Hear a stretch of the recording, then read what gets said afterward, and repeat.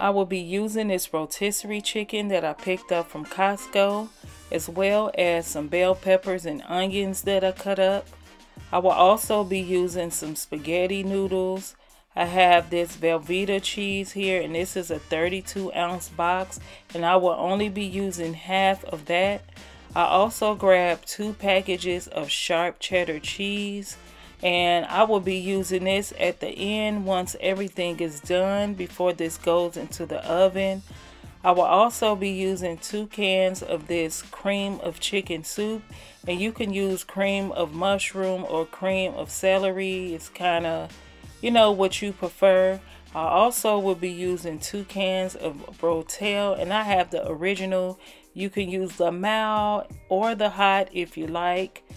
Um, for seasonings, I will be using garlic powder. I have onion powder.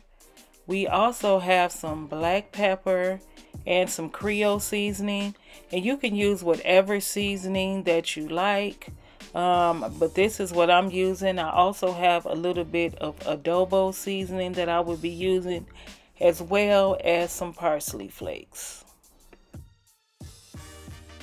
So to get started, add a little bit of olive oil to your skillet or your pan or whatever you're using and saute your um, vegetables. And while your vegetables is sauteing, cut your cheese up into small cubes and set that to the side. Once I was satisfied with my vegetables, I didn't want them to get too mushy. I went ahead and added my two cans of Rotel as well as my two cans of cream of chicken soup. And I just allowed that to heat up into my pan.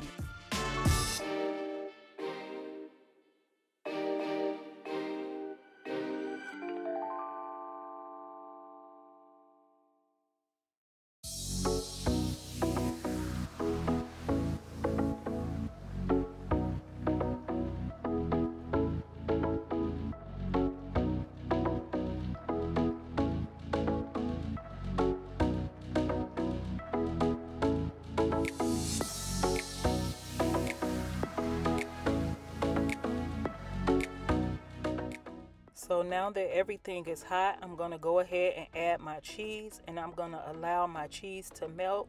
And while I'm waiting on my cheese to melt, I will be cooking my noodles as well.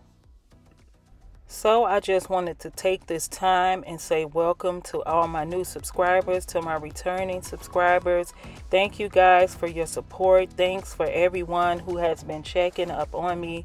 It's been so much going on that I haven't been able to tend to my channel, but I'm back, you guys, and I'm better. And I just want to say I appreciate you guys. So now that my cheese is melted, I'm going to stir everything up and then at this point we are going to add our noodles. We're going to mix the noodles in there and just get everything nice and combined.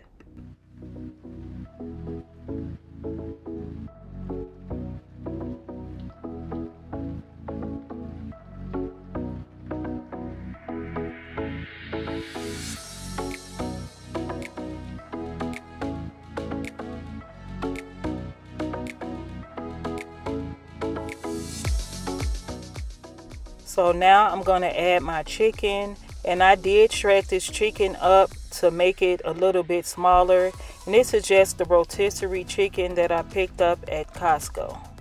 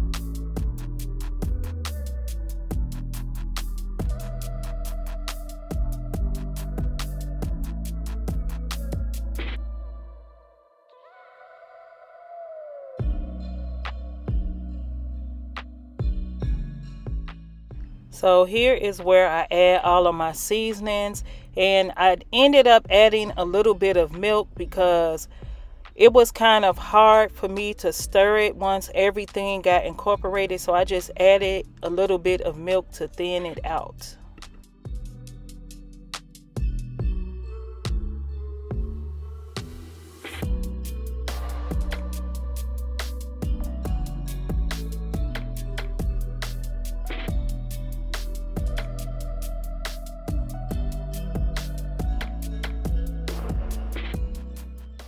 So now I'm just going to transfer everything to an aluminum pan.